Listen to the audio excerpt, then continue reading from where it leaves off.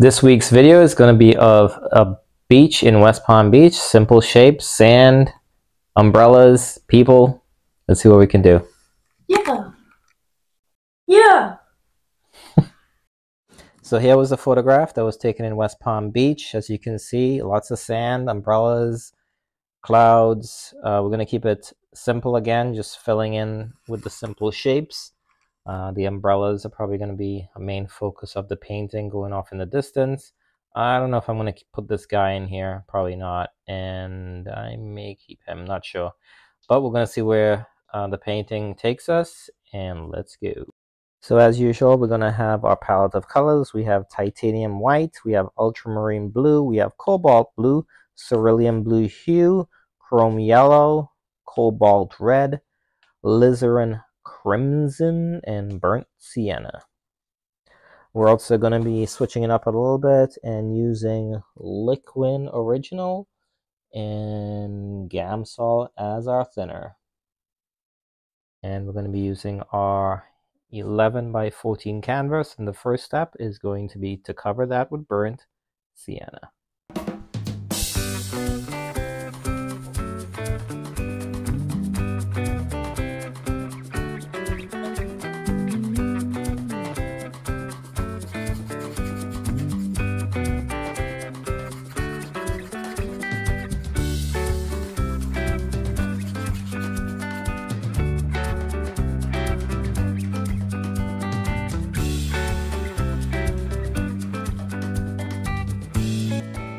So at this point, I take a step back, way back, and I think to myself, what does this look like? Um, I'm just trying to see if the lines make sense to me. Uh, there's a couple lines that are a little bit off, but that's more in the sand, which can be adjusted. I just want to make sure the sand in comparison to the umbrellas and the sky the clouds make sense. And it looks like they do. So at this point I'm just going to continue filling it in with the various uh, colors and values and try to get it you know medium value and then try to pull it in uh, with the different values colors because um, it goes from dark to light with both the sand and the sky so we're going to try and do that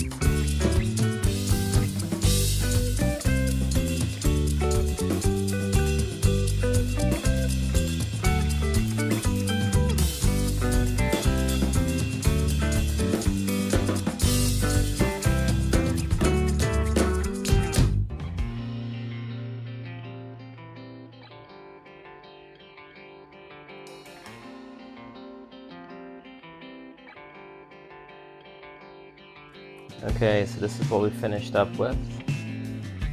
There's the photograph. There's the painting. I left out the vast majority of the figures, just a couple indications that there are people there. Uh, I can zoom in here and kind of see some of the people. See where there's indications of people there. The edge of the beach. I had to do over the, the beach area quite a bit and kind of mess around with the colors. So that is it. Thank you for watching. If you're enjoying this content, please like and subscribe, and we will see you in the next one. Take care.